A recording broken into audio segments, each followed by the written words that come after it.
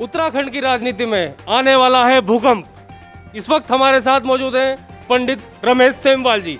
ज्योतिष आचार्य हैं, ज्ञाता हैं, वह क्या कहना चाहेंगे?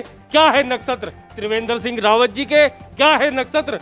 भाजपा सरकार के। सर, आपका स्वागत है रुड़की अब में। आप क्या कहना चाहेंगे? क्या भविष्यवाणी आप करते हैं? मैं ये कहना चाहता हूँ कि उत्तराखंड में परिवर्तन की 100 परसेंट संभावना बन रही है ग्रह योगों के अनुसार। और जो वृषभ राशि पर राहु चल रहा है और मैंने पहले भी कहा है कि सिर्फ़ नारायण तिवारी जी को छोड़ करके किसी भी मुख्यमंत्री का कार्यकाल पूरा नहीं रहा।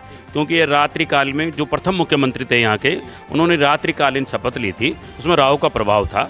इसलिए अब भी जो त्रिवेंद्र रावत जी हैं बहत्तर घंटे इनके लिए महत्वपूर्ण हैं। अगर ये बहत्तर घंटे दस मार्च तक बच जाती है कुर्सी तो ये कंटिन्यू चलेंगे। नहीं तो दस ग्यारह मार्च के बाद नया मुख्यमंत्री आपको देखने को मिल सकता है उत्तराखंड में। कौन बनेगा मुख्यमंत्री? मुख्यमंत्री में मुझे अनिल बनोली नंबर- सतपाल महाराज। ग्रह नक्षत्रों के अनुसार तो ये तो अनिल बनोली जी ए नाम से या रे नाम से। दो ही मुख्य दावेदार हैं और दो ही बन सकते हैं ग्रह नक्षत्रों के अनुसार। तो देखिए दोस्तों भविष्यवाणी कर दी गई है। अब बहत्तर घंटों की वेट करते हैं।